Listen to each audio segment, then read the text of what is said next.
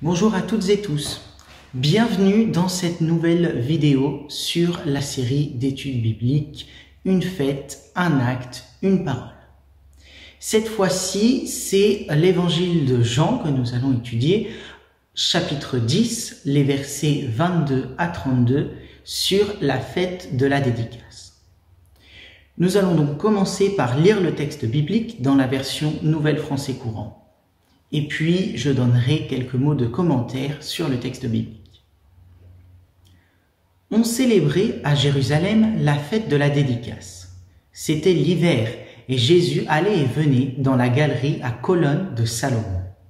Au temple, les Juifs se rassemblèrent autour de lui et lui dirent Jusqu'à quand nous maintiendras-tu dans l'incertitude? Si tu es vraiment le Christ, dis-le nous ouvertement. Jésus leur répondit, Je vous l'ai dit, et vous ne me croyez pas. Les œuvres que je fais au nom de mon Père témoignent à mon sujet. Mais vous, vous ne me croyez pas. Parce que vous ne faites pas partie de mes moutons. Mes moutons écoutent ma voix. Je les connais et ils me suivent. Je leur donne la vie éternelle ils ne seront jamais perdus et personne ne les arrachera de ma main. Ce que mon Père m'a donné est plus grand que tout et personne ne peut rien arracher de la main du Père. Le Père et moi, nous sommes un. Les Juifs ramassèrent de nouveau des pierres pour les jeter contre lui. Jésus leur demanda, je vous ai fait voir beaucoup d'œuvres bonnes de la part du Père. Pour laquelle de ces œuvres voulez-vous me tuer à coups de pierre? Jusqu'ici, notre lecture des très saintes Écritures. Alors, Jean 10, versets 22 à 32. Une fête, un acte, une parole. En premier lieu, une fête. Le contexte. Ici, c'est la fête de la dédicace, aussi appelée en bon hébreu Hanouka. C'est une fête juive annuelle qui se tient durant le mois de décembre. C'est une fête euh, qui célèbre la consécration, ou plutôt la reconsécration du temple en 565 avant Jésus-Christ, à la suite d'une profanation. C'est une fête joyeuse et non sabbatique. En deuxième lieu, un acte.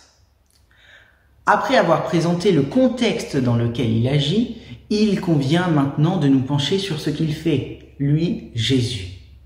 Jésus enseigne, ou plutôt Jésus répond à la question que lui posent ici ses contradicteurs, les Juifs selon le texte. Verset 24. Jusqu'à quand nous maintiendras-tu dans l'incertitude? Si tu es vraiment le Christ, dis-le nous ouvertement. Et ce qui nous intéresse vraiment dans ce texte, c'est la réponse, c'est la parole qu'apporte Jésus. Une fête, un acte, une parole. Lorsque nous observons le texte, nous voyons que Jésus tarde à répondre à la question. Alors, c'est un texte qui fait débat au sein du monde chrétien on pourrait se perdre en débat théologique à propos de ce texte sur la prédestination ou sur la sécurité du salut. Mais ce serait ignorer la réponse de Jésus, le cœur et la conclusion du texte au verset 30. Le Père et moi, nous sommes un. Jésus affirme ici, et c'est spectaculaire, son unité et son égalité avec le Père, et ce, y compris dans les œuvres qu'il fait. Par exemple, verset 32, il dit, Je vous ai fait voir beaucoup d'œuvres bonnes de la part du Père. Pour laquelle de ces œuvres voulez-vous me tuer à coups de pierre? Les opposants de Jésus comprennent bien ces paroles puisqu'ils veulent le lapider pour blasphème. S'ils veulent le lapider pour blasphème, c'est donc qu'ils ont bien compris que Jésus s'identifie à Dieu. En effet, il dit au verset 31, les Juifs ramassèrent de nouveau des pierres pour les jeter contre lui. Réaliser que Jésus est Dieu. C'est d'une importance capitale pour la vie chrétienne. C'est ce qui fait la différence entre l'admiration que peut, que peut avoir un non-chrétien et l'adoration que les chrétiens réservent à Jésus. C'est réaliser que Jésus n'est pas seulement un ami ou un frère, mais notre Dieu, c'est-à-dire celui que nous devons servir et auquel nous devons obéir. Si Jésus n'est pas Dieu, notre foi est vaine, et Jésus est en fait un homme pour mentir.